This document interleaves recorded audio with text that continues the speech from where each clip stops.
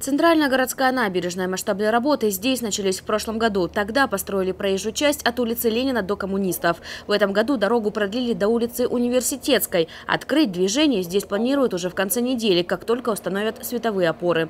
Изменить прибрежную линию города удалось в рамках федеральной программы развития внутреннего и въездного туризма. Построены две парковочные большие площадки, в том числе для туристических автобусов, поскольку мы, э, здесь эта территория прилегает к нашей мемориальному дому музею Верещагина, который мы планируем в следующем году э, каменный дом привести в порядок и создать вот такую территорию благоустроенную для привлечения в том числе туристов. По проекту необходимо привлечь инвесторов и создать пешеходную зону с развитой инфраструктурой от Ягорского моста до Октябрьского. Сегодня губернатор Олег Кувшинников заявил о расширении масштабов строительства. Набережную продлят до Парка Победы. В настоящее время есть договоренность с Федеральным агентством по туризму о включении Вологодской области э, с нашим кластером федеральную целевую программу с 19 по 24 год с объемом финансовых средств федерального бюджета порядка 700 миллионов рублей.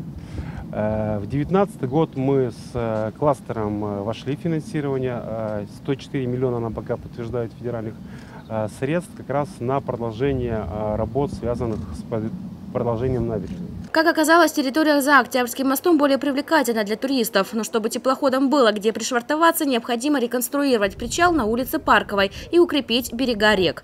Встречать гостей города с реки Шексны будет Парк Победы с экспонатами военной техники, полосой препятствий, аллеей славы, детской площадкой и лыжероллерной трассой. А ведь еще несколько лет назад эта территория была заброшена. Все это не использовалось, все это заросло бурьяном, э, кучей мусора, ничего здесь не было. Единственное, что есть, когда использовался в летний период, это, это пляж.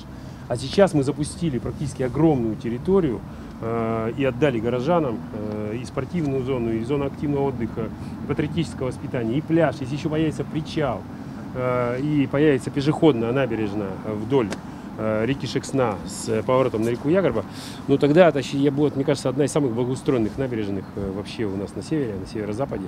И Череповец этого достоин. Поразил губернатора и новый фонтан на площади у Дворца металлургов. Возвести его удалось ровно за 100 дней. Это один из самых больших фонтанов, то есть обычно не метров 15, наш 25 метров в диаметре.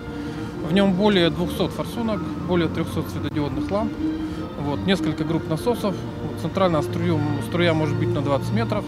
И там очень много вот таких технических. Но самое главное, что он светомузыкальный. То есть он танцует, играет. Увидеть своими глазами яркие брызги фонтана череповчане и гости города смогут уже следующей весной. Кроме этого, на 2019 год здесь планируют построить перголу и амфитеатр с южной стороны дворца.